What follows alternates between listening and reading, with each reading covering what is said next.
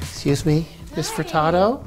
Hi. Hey, oh hi, how I- are you? Mark, and, and we, we shoot 22 minutes in the same building that you're going to be hosting the Junos in in Halifax. Amazing. And I just want to say if you need anything when you're on the East Coast, you know. Oh my god, that's so sweet. Okay, I'm sorry. I'm just a little nervous. Um, I just, you're my favorite Juno, so Stephanie. I, I love your Juno work in particular, especially that one okay, where you came down from the sky and you just floated all the way down. I, I couldn't believe what I was seeing, though I wasn't sure if it was real because I was sitting with Michael Bublé at the time and we're both very high on mushrooms. Do you have a favorite Juno moment?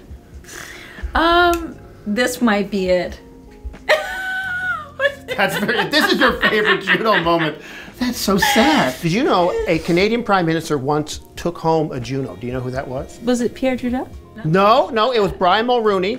He took home the Juno for Tears Are Not Enough on behalf of the Canadian people.